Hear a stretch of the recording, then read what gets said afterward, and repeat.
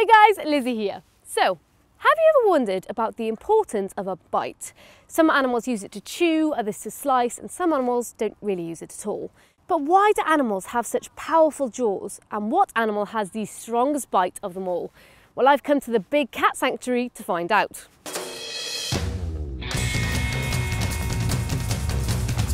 What have you got up to today? You're just wheeling a barrow of horse into a lion enclosure.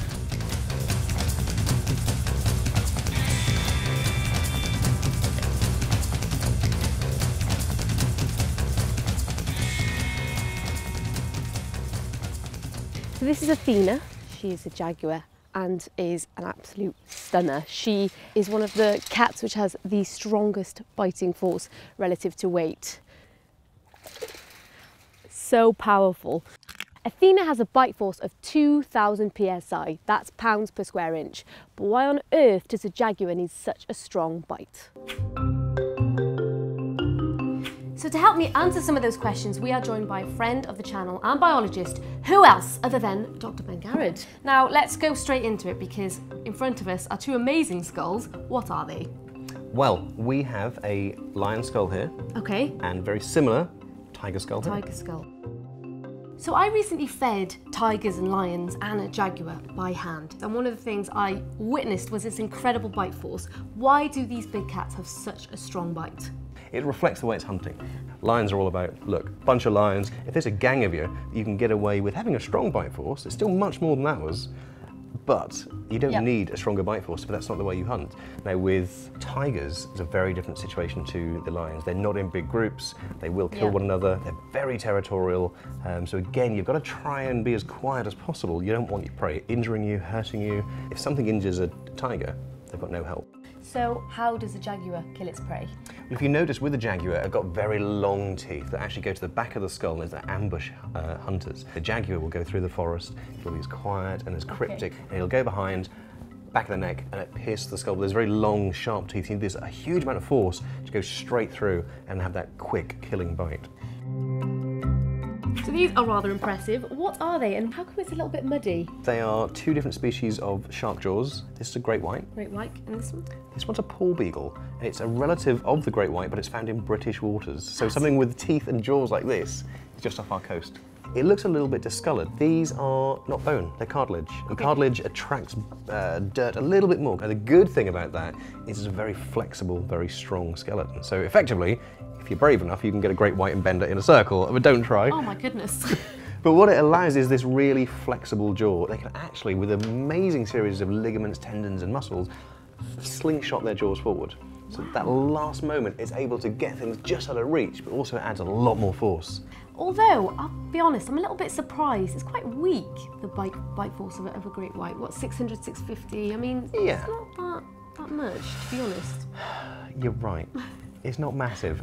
Sorry, sharks. Part of that is because of the way they feed again. They need the bite force to grab on. Either they'll take a chunk out, when having these serrated teeth is enough, or they'll grab hold and thrash and just pull off a limb or pull off a huge chunk.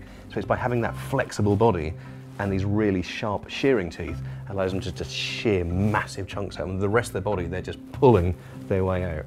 Uh, that's why they're pretty awesome predators. Got a lovely skull here. What do we got? What do you reckon? Oof, pretty big crocodile. Mm, Nile crocodile? You're right, it's one of the crocs. Now, it's probably Nile, it could be an American croc, or it could be a salty. They're, they're, they're difficult to tell apart, I'm not a croc expert, but they've got massive bite forces. What is their bite force?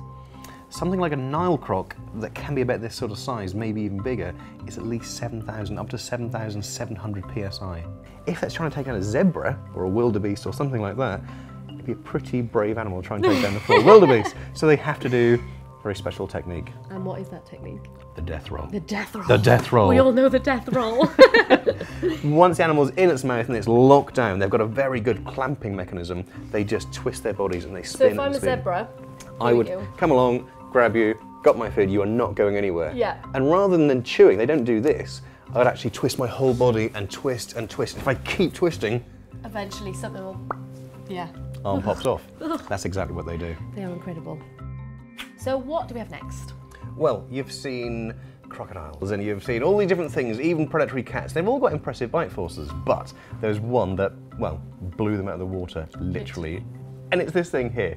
Ben, what is it? Because it is monstrous. It is massive, isn't it? It's, It's absolutely huge. terrifying. It looks like a giant croc, but it's not. It's from an extinct uh, marine predatory reptile called a pliosaur. Pliosaur. Pliosaur, a huge, huge 10 metre long beast that was swimming around the UK about 140 million years ago. And its bite force, massive. Go on. 33,000 What? psi. More than four times the strength of a crocodile's bite. So how would it generate such power and force? If you try and catch my hand, imagine your, your arms are the two jaws here. Okay, You're yep. trying to snap onto my hand. I'm trying to get away. Yeah. Got me. And I'm, yeah, easy. Hugely easy. powerful slap there. Yeah, sorry. But if you do, that's all right. If you do it again, put your hands Yes. together, a huge amount of force going down. If you try and open those now, yeah. it's very hard Ah, because see, all that strength is back here, isn't it? Yeah. So if you imagine a mousetrap with all the mechanisms at the back, Of course, yeah. it's spring loaded. It's the same sort of thing here. So they would have gone through the water, found their prey, and all that power would have come from this join and then To clamp down. slapping down. That is Yeah. incredible. And the size of them is kind of just blows you away, doesn't it? Yeah, I mean, this is 10 metres long. It, it's as long as a bus. So where was this found, Ben? Fossils have been found all around the world, from Patagonia to China to Africa, and this one has been found in Swindon. Here in the UK. Here in the UK, between Swindon and Bristol, the whole area around here was a series of lovely, warm, shallow seas, and these massive 10 metre predators were just swimming around looking for prey, looking for something to eat. Wow. Amazing. Well, there you have it. Ben, thank you so much. If you want to see more from Ben, just click here to find out more about his unique hobby. If you want to see more from the channel, just click subscribe. And we'll see you soon here on Earth Unplugged.